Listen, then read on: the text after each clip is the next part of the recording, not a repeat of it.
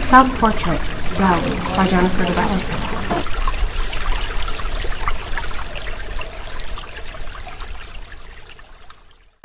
I am doubt, doubt like a riverbed that droughts in late summer when rain refuses to fall, and you, my love, slip away from this landscape in the middle of a moonless night.